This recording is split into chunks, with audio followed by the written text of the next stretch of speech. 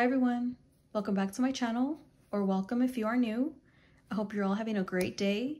In today's video, I will be doing a sinking funds slash savings update for the month of October, as well as sharing my sinking funds tracker and how I track all of our savings.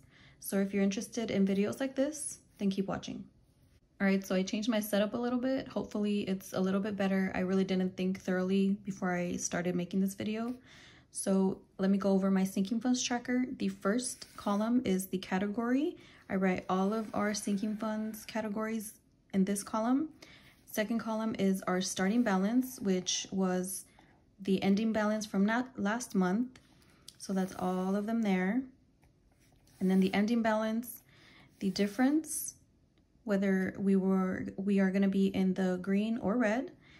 The next column is our goals. So whatever goal I have for each specific category. Some categories don't have any goal specifically. And the last one is our notes. So it's pretty much what I want a certain category to be for. Like for example, these services, I want that to be a Christmas bonus for our landscaping service and our pool cleaning service. So Now I'm gonna go ahead and get started. But before I do, um, that reminds me of Taylor Budgets. if you guys watch her videos, you know what I'm talking about. So the starting balance, everything added up all together is $11,546. That's our starting total. And there is a few changes that happened from last month to this month. I did remove our household sinking fund from this tracker and I added it to my regular cash envelopes. And then um, I added the services envelope. That one used to be in my cash envelopes and I added it to our sinking funds, as well as I added a Thanksgiving category. So those are these changes for last month to this month. All right, so we're gonna start with our first sinking funds binder. For the first category, it's emergency fund and the starting balance was 1,475. Now it's 1,100, 200, 300, 400, 450, 500, 520, 530, 540, 550, 560, 565, 1,565. And now I'm going to subtract the starting balance to the ending balance.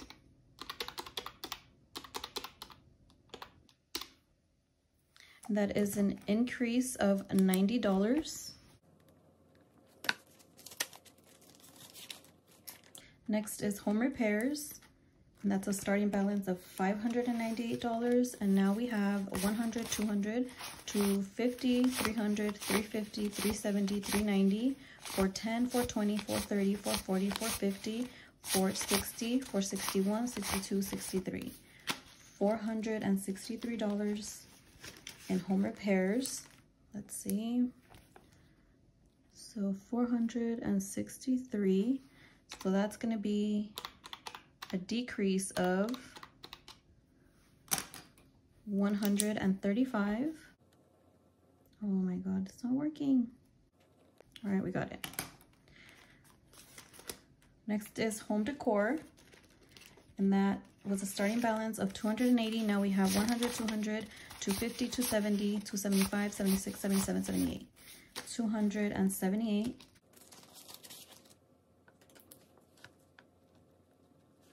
And is a decrease of $2. All right, so now we're going to room makeover. And that was a starting balance of 2,637. And now we have 1,000, 2,000, 2,500, 2,600. 20, 40, 60, 65, 70, 75, 80, 81, 82, 2,682. So let's see. 2,682 minus 2637 is an increase of 45. Utilities was a starting balance of 78 and now it's at 20, 40, 60, 65, 70, 71, 72, 73, 74, 75, 76, 77, 78. That one stayed the same. Okay, so 78 and there's no change. Next is car maintenance. And car maintenance was a starting balance of 594. Now we have 500, 550, 570, 590, 610, 20, 30, 31, 32, 33, 34. 634. 634 minus 594 is an increase of 40. I'm being extra quiet, guys, because I'm really trying to concentrate. And it's early in the morning, like always. All my videos are always early in the morning. Next is annual bills, and that, I believe it stayed the same. Yeah, I'm not even going to open it. All right, so that's 200 and it stayed the same. This is the new one. So our starting balance was $90 and this is just the bonus for the Christmas bonus. Um, so now we have 20, 40, 60, 80, 85, 90, 95, 100. We have 100 and that increased by $10 and we've actually met our goal. So our goal was $100 because we are giving them $50 each. So that goal was met already. That's like the only one. So next is rollover funds. This one doesn't have a specific goal and it's pretty much just whatever rollover money we um, take out and put it in here for our from our cash envelopes. That's what this has been accumulating. So now it started off at 175 and now we have 100, 150, 170, 190, 210, 230, 235, 236. That is a pretty big jump. 236. 236 minus 175 is an increase of $61 that's good, guys, because I do like to keep, if you guys have watched my videos, you know that I love to keep buffers in our cash envelopes just so that we don't go over. We already have a little cushion in there. So the fact that we're still able to save some money for the month, that's awesome. So now I'm gonna go over to the next binder. I just moved it out of the way because it was sliding everywhere. So we're gonna start with my daughter. Her starting balance was $645 and now she has 500, 600, 620, 640, 660, 670, 680, 85, 90, 91, 92, 93. 693. 693. Now let's see what her increase is, so that's an increase of 48. That's good, guys. My kids, I'm trying to increase theirs. But there's a few goals we want to accomplish before we like really go hard on their savings. So next is my son Phoenix, and he was a, had a starting balance of 642. Now he has 500, 600, 620, 640, 660, 680, 690, 705, 10, 15, 20. 720. 720. So that was an increase of $78. So far, only two in the red, guys.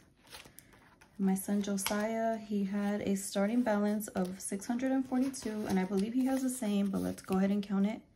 Now he has 500, 600, 620, 640, 660, 680, 690, 700 705, 10, 15, 20. Yep, 720. All right, 720. So he has the same increase. Next is our oldest son, Isaiah. He had a starting balance of 672. And now he has 500, 600, 650, 700, 720, 740, 760, 780, 790, 800, and 5, 10, 15, 20, 21, 22. 822. Just making sure. 822. So he has an increase of 672. He has an increase of $150. And if this is your first video and you're confused as to why certain kids get more than others, it's because my daughter is, she's only two years old, so she has so much time for us to save for her. And our oldest son, he is 16, gonna be 16 years old. So we want to increase his savings quickly because he is closer to adulthood than all of our other kids. And the uh, Phoenix and Josiah, they're in the middle, so they do kind of get a little bit more than my daughter my youngest to my youngest son, that's a 10 year difference. So, you know, we have so much more time with our daughter. That's why those numbers are way different. So now we're going over to back to school. Not that you guys asked about all that spiel, but I just want to clarify in case there's any questions. So back to school started off at 215. Now there's 100, 120, 140, 160, 180, 210, 15, 20. So that was only 220. That was only a $5 increase. And by the way, even though some of these only look like, okay, this was only $5, so I only put $5 towards back to school, that's not the case. I did put more through the month, but we did use some of the money in certain categories. That's why by the end, it just seems like there's very little, but there was certain expenses during the month that depleted some of these um, envelopes. So now clothing started off at 112 and now there's 100 and we actually you had used up all of clothing but I did add a hundred dollars so it would only, see, oh, actually that was depleted, right? Let me get my white out. Made a mistake. So that is a decrease of $12. I thought it's an increase because, like I said, we added the $100 because we had spent it and then I redeposited some more money in here. So now activities was a starting balance of 105 and now there's 110, 15. 115. Oop. Oh my God, I'm messing up. So that was an increase of $10.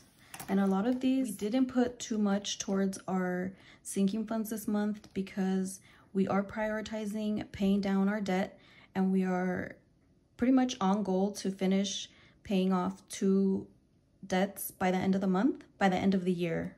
My mistake. So that's why there wasn't a lot of savings put into our sinking funds. So health was a starting balance of 227 and now there's 100 200 220 230 235 36 37 237 to 37 so that was an increase of $10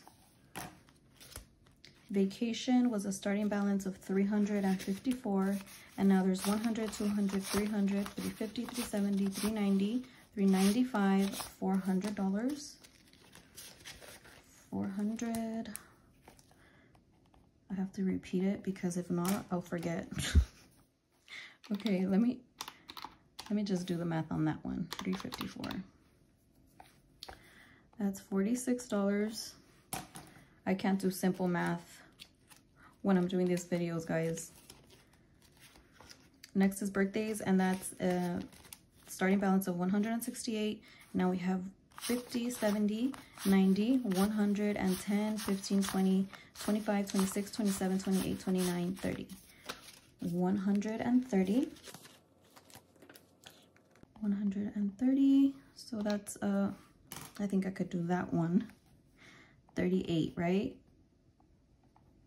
I'm right, right? Next is Christmas. That was a starting balance of 818. And now there's 500, 600, 700, 800, and 20, 40, 60, 70, 80, 85, 86, 87. $887. Let me make sure. Yeah. 887. So that is an increase of $69. I think I said this in my last sinking funds update, but everything looks so pretty. And then when I'm doing the numbers on camera, my numbers look so ugly. And it doesn't help that I'm like, next is holidays. That was a starting balance of $80. Now we have 20, 30, 40, 45, 50, 55, 60, 61, 62, 63, 64, 65, 66, 67, 67. Am I right? Why does this say 66? Let me recount it. 20, 30, 40, 45, 50, 55, 60, 61, 62, 63, 64, 65, 66, 67. I think I might have missed a dollar. Okay, so that's $67. So that is a $13 decrease. Let me make sure because, yeah. Next is dates. Um, let me skip this one because I added that to the end. You know what? Let me just do it. So I think there's only 20 bucks in here. Yeah. So that's 20. $20. So that is an increase of 20.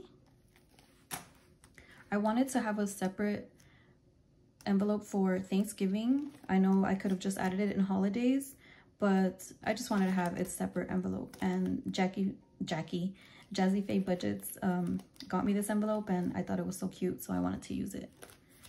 Uh, dates was in a starting balance of 170 and now there's 20, 40, 41, 42, 43, 44. 44. We did go out on a date, guys. So that was a ending balance, a decrease of 126. Yeah, we actually went out on, I guess one was a date, but my daughter was um, included.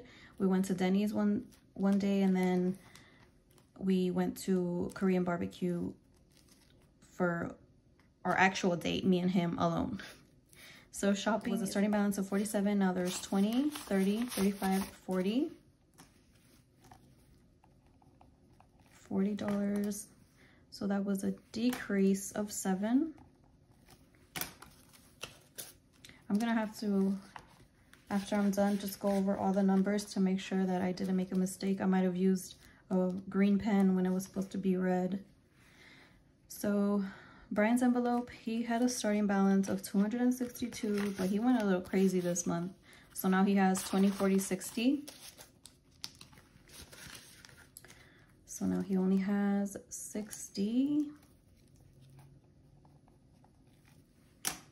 And that was a decrease of $202.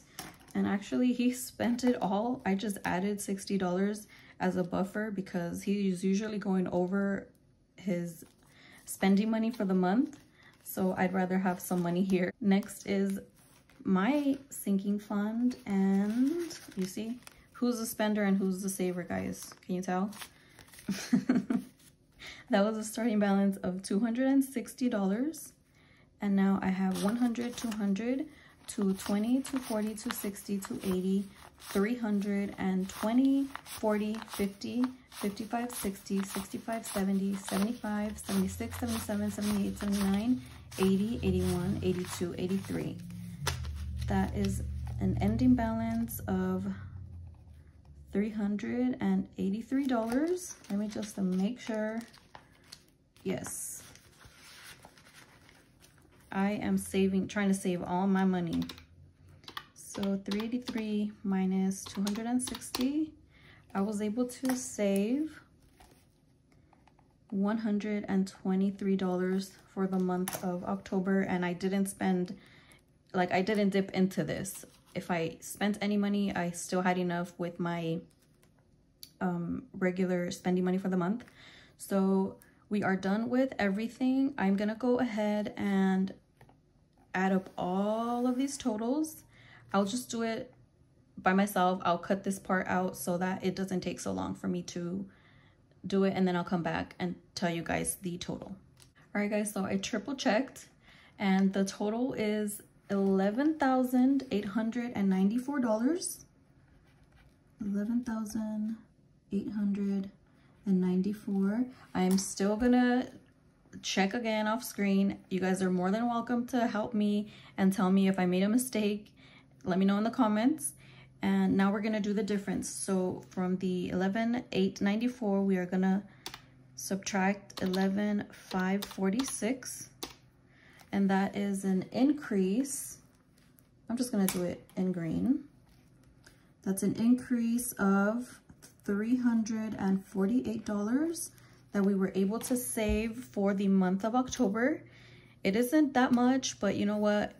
Anything is better than nothing that's $348 more that we have in our envelopes that we're able to just have cushions for expenses. All right, guys, so we're at the end of this video. Let me know if you guys track your sinking funds. Do you track your savings? Do you do it on paper? Do you do it digitally? Let me know. Do you guys like my sinking funds tracker? Will you be trying to do it this way?